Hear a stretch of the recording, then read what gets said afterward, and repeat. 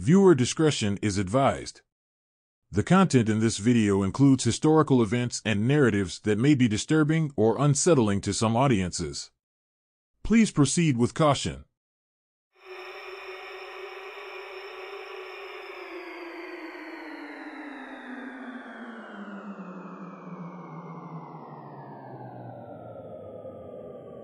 Are you ready to peek behind the bars of one of America's most infamous prisons? Buckle up and hold tight as we unlock the eerie, chilling secrets of the Nebraska State Penitentiary. You won't believe what we've found inside. Shocking life conditions at Nebraska State Penitentiary revealed. In the heart of Lincoln, Nebraska, stands a towering structure that has witnessed decades of history, the Nebraska State Penitentiary. Established in the late 19th century, this facility has been a silent custodian of the lives of countless inmates, each with a story overshadowed by the grim reality of their confinement.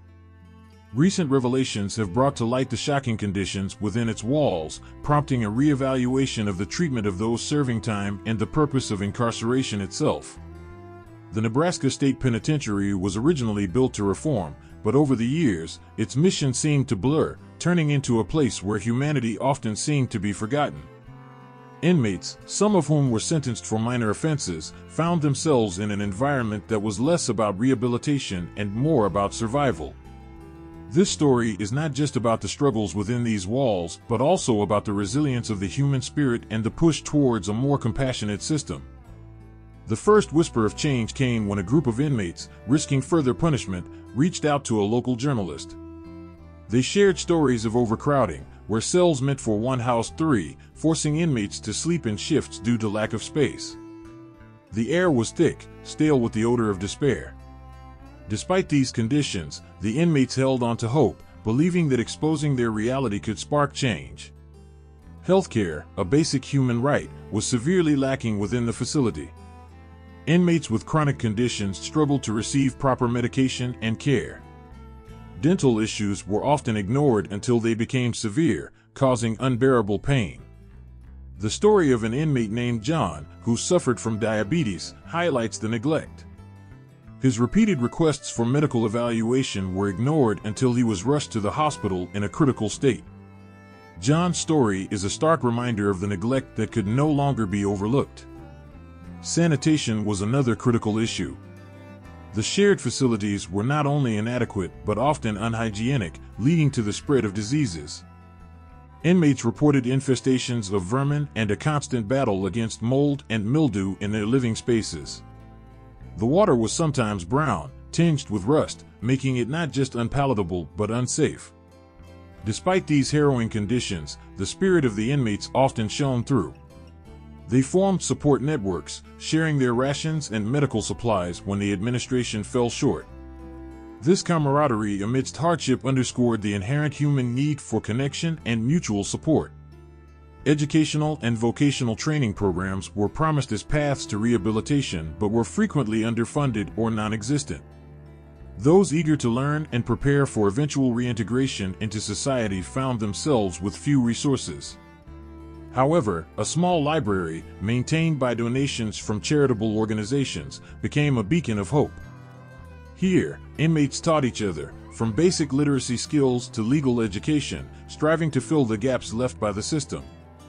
The mental health of inmates suffered tremendously under these conditions. Isolation and a lack of mental health services led to a rise in incidents of self harm and depression. Yet, in this darkness, peer counseling programs emerged, spearheaded by inmates trained in basic psychological support.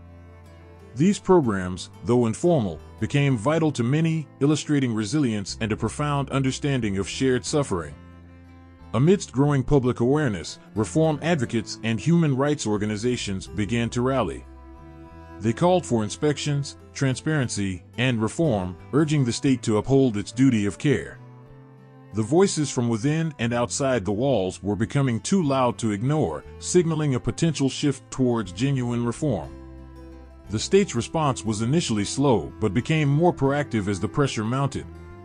Investigations were launched, and plans were made to reduce overcrowding, improve healthcare access, and enhance sanitary conditions.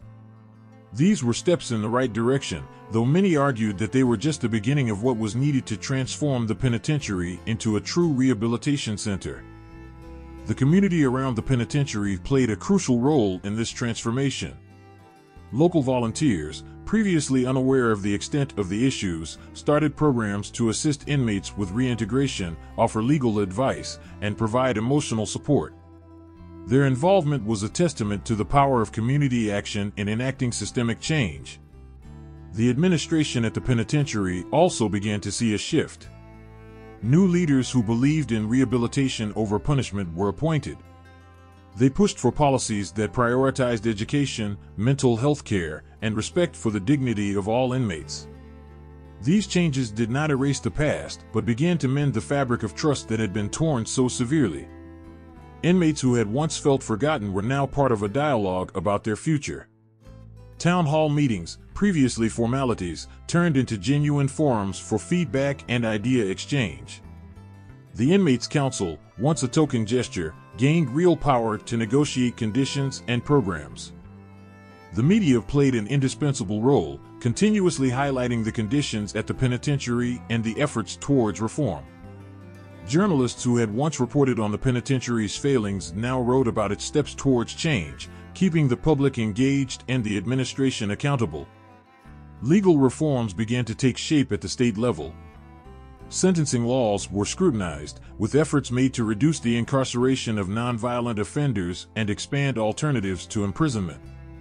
These legal changes were a reflection of a broader shift in how society viewed punishment and justice. The educational programs within the penitentiaries saw a revival. With additional funding and support, these programs expanded, Inmates could now earn degrees, learn trades, and receive certifications that would aid them in their post incarceration lives. The success stories of former inmates who, through these programs, found employment and a fresh start were a powerful motivator. Family ties, previously strained by the harsh realities of incarceration, began to heal. New policies allowed for more frequent and less restrictive visitations. For many inmates and their families, these moments of connection were vital for maintaining hope and building a future. Despite the progress, challenges remained. The infrastructure of the penitentiary, so long neglected, required significant upgrades. Funding was always a concern, with advocates continuously pushing for adequate resources to maintain and expand programs. The transformation at Nebraska State Penitentiary is ongoing. It is a testament to the belief that even in the darkest of places, change is possible with resilience, community support, and a commitment to human dignity.